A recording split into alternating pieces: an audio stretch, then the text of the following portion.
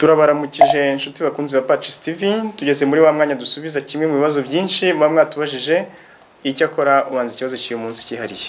Diako ikibazo cy'uyu munsi ni ikihe ikibazo cy'uyu munsi rwose umugani wawe kirihariye. Twahurije hamwe icyo abagize kominote ya Emmanuel. Baragira bati padiri twishimiye ko ibyo gushyira gutangaza Sipiriyani Rugamba mu bahire biri kujya imbere. Ariko se anketi ya diyosezi bivuze iki? Icyo ni ikibazo cya mbere. Icya kabiri hasigaye iki? Noneho icya nyuma. Ese wadusobanurira intera zabyo n'icyo dusabwa? Nicyo kibazo batubajije tugiye kubasobanurira muri aka kanya. Eh, ndabashimiye bavandimwe iryo tsinda ry'ibibazo begeranyije mu kibazo gisa naho cyagize kimwe. Cyane cyane ko mwakomeje gusaba ko ikibazo gisubizwa eh, nubwo kitari kijyanye eh, na ga- na gatigisimu y'ibanze twasubizagaho muri uku kwezi kwa nzeri ariko byabaye ngombwa cyane cyane kubera ibirori byo kuri uyu wa kane tariki makumyabiri n'eshatu byerekeye gusoza anketi kuri rugamba Sipiriyani hamwe n'umuryango we. Kuba rero eh, biba byaritondewe cyane kandi bigafasha bigafata n'igihe ndetse akaba ari n'ubwa mbere bibaye mu gihugu cyacu eh, birasaba guhina mu ngingo eshatu eh, igisubizo tubaha.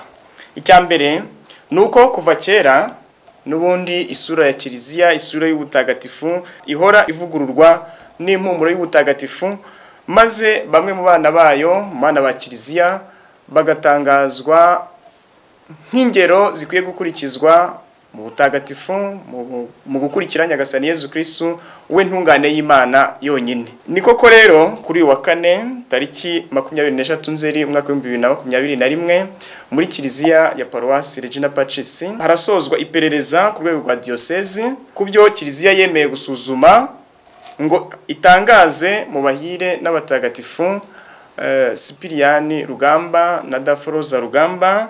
Hakaba harongewemo abana biciwe hamwe ukurikije uko urubanza rwari rwatangiye mu mwaka w'ibihumbi bibiri na cumi na gatanu. Izo ntera rero ebyiri mvuze zibanzirizwa n'indi bariho bakaba barakomeza barakomeza kwitwa abagaragu b'Imana. Birumvikana rero ko intera ari eshatu nk'uko mwabibazaga ni veneration ni, be, ni beatification na sanctification. Ni intera eshatu rero. Icya kabiri ni mwabajije icyo dusabwa gukora. Mbere na mbere icyo dusabwa ni ukuba intungane n'abatagatifu nk'uko data wo mu ijuru ari intungane ni amahirwe rero kubona abatwegereye batangazwa mu bahire n'abatagatifu.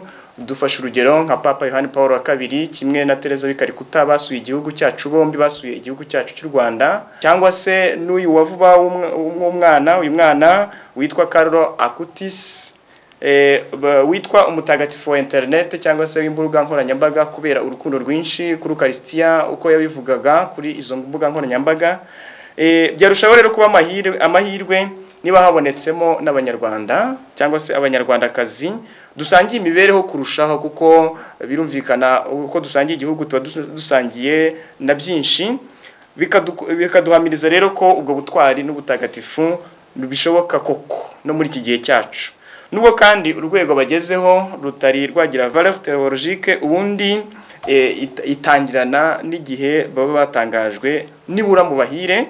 Ariko ubu ngubu mu byo dusabwa bindi ni uko dushobora kubiyambaza mu isengesho umwepiskopi yemeza kandi igihe umwepiskopi azabigena ko aho bashyinguye cyangwa se bashobora kwimurirwa eh, imva zabo hajya hakorerwa amasengesho ku rwego rwo mu ruhame. Icya gatatu ni uko ibirori byo kuri wa kane ari nka sesiyo ya nyuma cyangwa se isozwa ku mugaragaro ry'iperereza muri diyosezi bavuga. Ubwo rero hagati y'itariki ya kabiri z'ukwezi kwa cumi umwaka w'ibihumbi bibiri na cumi na gatanu n'itariki ya makumyabiri na gatatu z'ukwezi kwa cyenda uyu mwaka w'ibihumbi bibiri na makumyabiri na rimwe habayemo byinshi. Habayeho gusuzuma byimbitse inyandiko zabonetse zabo n'ibyerekeye guhorwa imana ariko byabanjirijwe n'ikindi gikomeye cyitondewe cyane ku buryo eh, baba barashyize mu bikorwa imigenzo mbonezamana uko ari itatu tuyizi ni ukuvuga ukwemera ukwizera n'urukundo ndetse n'imigenzo uh, mbonezabupfura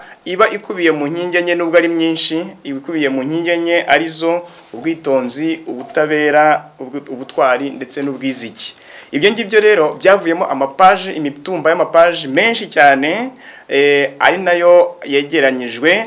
Igihe gikuru rero muri ibyo birori eh, ni ugutera kashe ahafungirwa izo nyandiko ziba zigiye koherezwa i Roma kugira ngo zizasuzumwe mu gihe gikwiye mu gihe gihagije ndetse no kuvuga uko byakozwe n'uburyo abatangamuhamya bumviswe nta kubogama.